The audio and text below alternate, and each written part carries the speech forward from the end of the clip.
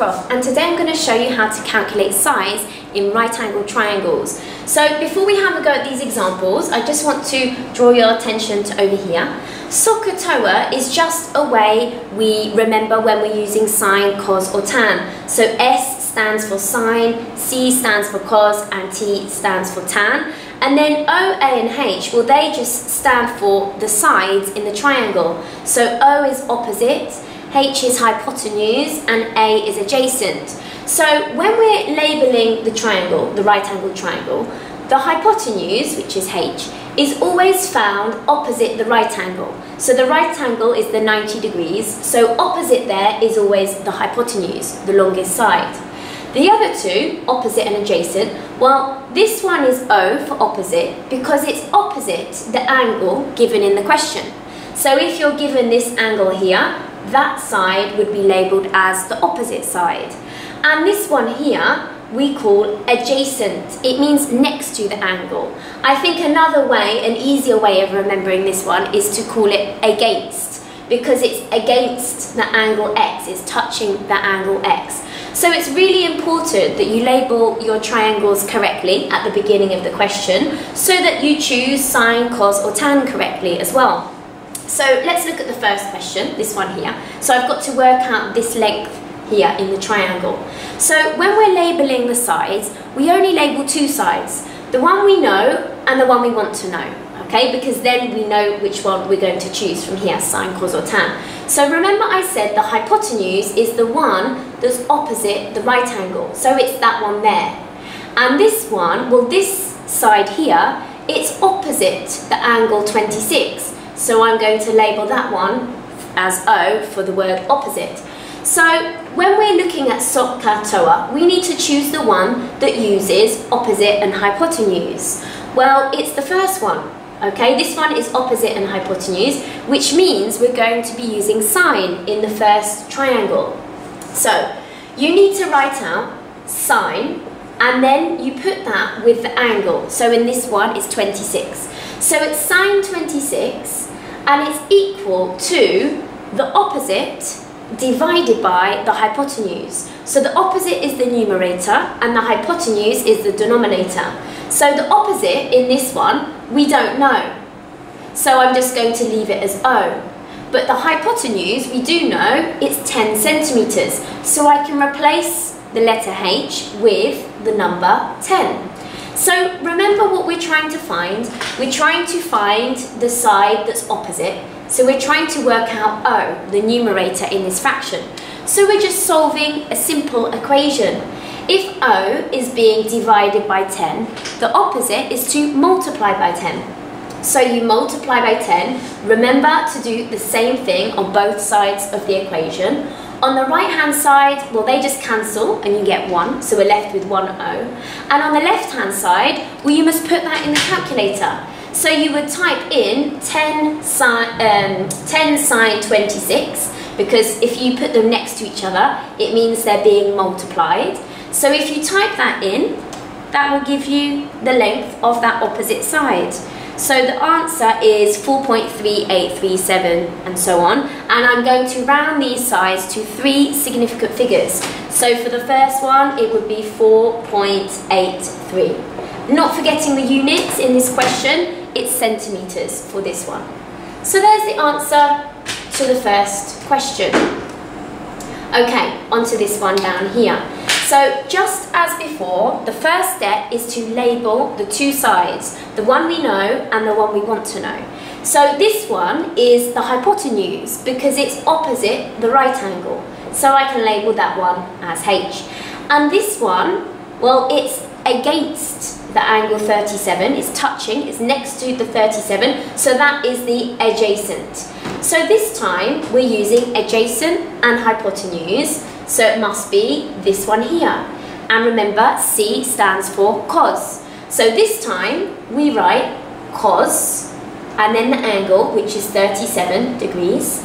And because it's A followed by H, we have to do adjacent divided by hypotenuse. So this is the numerator and this is the denominator. So the adjacent, we don't know yet. So I just leave that as A but the hypotenuse, we do know, it's 9. so I can write 9 instead of h. So we're solving this equation again. a is currently being divided by 9, so we have to do the reverse. So I'm going to multiply by 9 on both sides of the equation to keep it balanced. On the right hand side where we do the opposite, well that always just cancels. And then on, the left hand side we have to calculate this. So you'll put in your calculator 9 cos 37. Remember, when they're next to each other, it means they're being multiplied, okay? So put that in. Don't worry about the degrees. Just write 9 cos 37. And this time, if I round to three significant figures, I get 7.19. And it's centimetres again in this question. So there's the second answer. Okay, now the top right one up here. Remember step one, label the two sides, the one that's given and the one that you want to find out. So this time we've got this side which is opposite the angle 41 and this one is against the angle 41 so that's adjacent and that's the hypotenuse but we don't need to label that one because we don't know what it is and we don't want to know what it is. So we're using opposite and adjacent. So this one is opposite and adjacent. So we're using tan. This T stands for tan. So we write out tan and this is always followed by the angle. So this time we've got 41 degrees. And we're doing O divided by A. So O is the numerator and A is the denominator. So O we don't know, so that just stays as O. But A is 8, so I can replace A with that number 8. So remember, we're trying to calculate O, but O is being divided by 8, so the opposite is to multiply. So you multiply both sides of the equation by the number 8. On the right hand side, where you do the opposite, it just cancels and we're left with O. So on the left hand side, you can calculate. So you put 8 tan 41 into your calculator and the answer is, so this is O and it's 6.95 if I round to three if I round to three significant figures. So there we go. And again it's centimeters for that one. Now this one down here. So it's about to change. So make sure you're listening carefully. The first step is exactly the same. Label your two sides. So this one is the hypotenuse because it's opposite the right angle. And this one is against the angle 43. It's touching angle 43, so that is adjacent. So we're looking for the one with adjacent and hypotenuse, so it's this one again. So C is for cos. So you write down cos followed by the angle, just like before. And we're doing A divided by H. So A we know is 4, so I can write 4 as the numerator. And h we don't know, so that just stays as it, as it is, okay?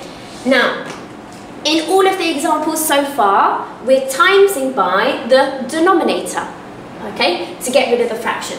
And I have to do the same thing here, except the denominator, it happens to be a letter, but that's fine. It just means we're going to have an extra step in this calculation. So I'm timesing by the denominator, which is h for hypotenuse. On the right hand side, remember it always cancels where you do the opposite. And on the left hand side, well I can't put it, this in the calculator yet because I've got a letter here that I don't know. And on the right hand side I'm left with 4. So the next step is to get rid of this cos 43. Well, h is being multiplied with cos 43, and we have to do the opposite if we want to solve this equation. So the opposite of multiplying by cos 43 is to divide. So remember to do the same thing on both sides of the equation. On the left-hand side, well, cos 43 divided by cos 43 is just 1. Remember, whenever you divide something by itself, you get 1. So we're left with 1h, which is the hypotenuse that we're trying to find. And on the right hand side, well, we have to calculate this. So you just put in the calculator 4 divided by, or you can do the fraction button, cos 43. Just remember on your calculator, if you use the fraction button to close those brackets after the 43, otherwise you'll get an error. So put that in the calculator, either with the fraction button or with divide. And what do we get? We get, if I'm rounding to three significant figures, 5.47. And this time the units are in meters. Okay, so there we go. So notice how when you don't know the numerator, you just multiply and you find the answer straight away. But in this one, we don't know the denominator. So there are two steps. We have to multiply by that denominator and then divide by the cos part. Okay, and remember you're doing 4 divided by cos 43, not the other way around. Make sure you get the order correct. The cos part is always the denominator, okay, with the number on top. Or, if you like, if you just want to remember it the quick way, when you don't know the one underneath, these two just swap places. So the h goes here, where the cos 43 used to be, and the cos 43 goes where the h used to be. So they swap places. So that's just a quick way of remembering how to do it when you don't know the denominator. Okay, I've got a couple more examples to finish.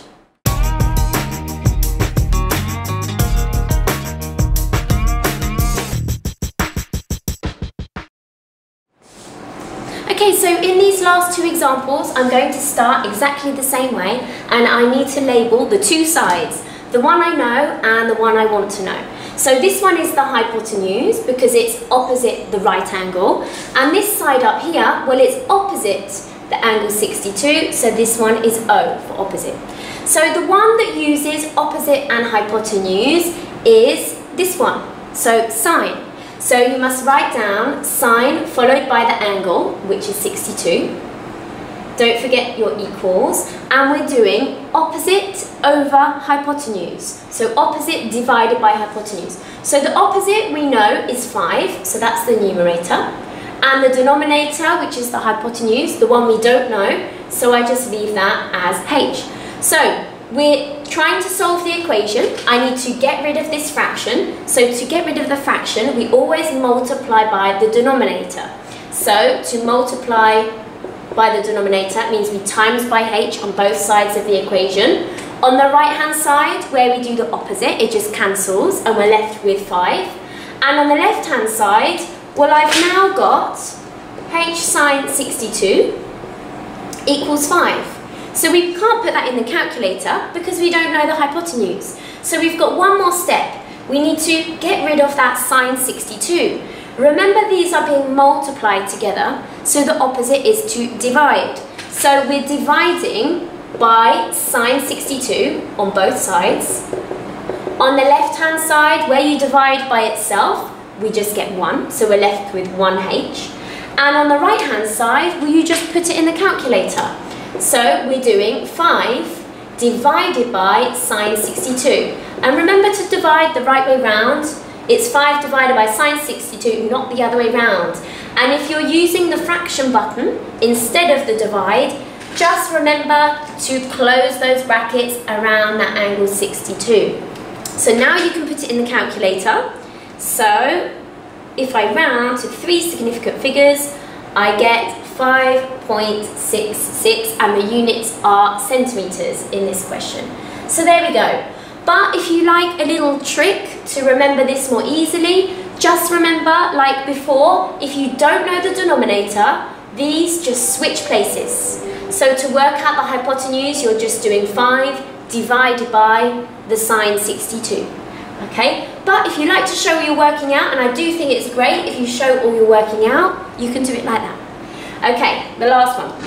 So again, label the two sides. So this one over here is opposite the angle 59 and this one is against the angle 59 so this is the adjacent. So if we're using opposite and adjacent it's this one so we're using tan.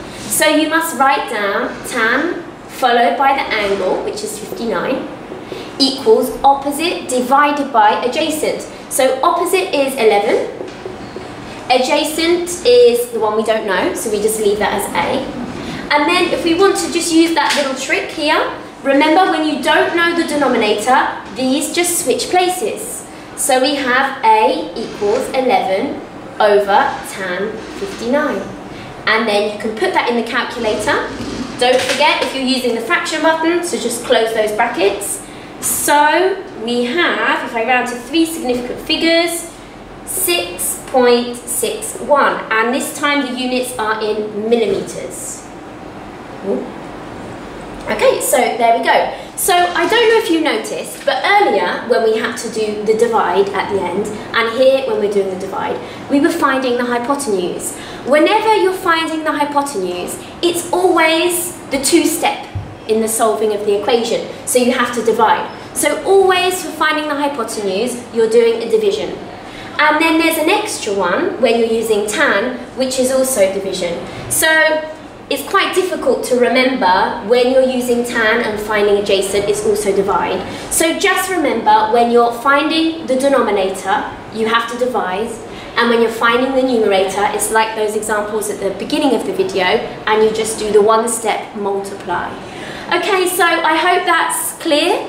I do have another video on finding angles in right angle triangles, so check that out. But that's all from me for today, so goodbye.